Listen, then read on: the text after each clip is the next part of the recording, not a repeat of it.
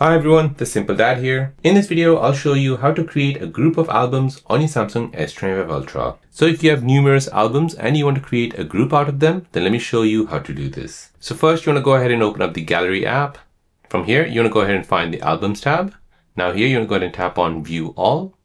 Now from here, you want to go ahead and tap on the plus sign at the top right. And now this will ask you what you want to create. So you want to create a group. So tap on group. Go ahead and give this a name, create.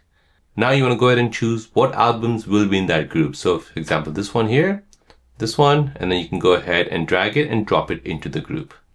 Now, once you look at that group, you'll see that there are albums inside the group and you can basically drag more albums into that group and you can basically watch all those videos and photos of that group. So there you go guys, that is how to create groups of albums on your Samsung S25 Ultra.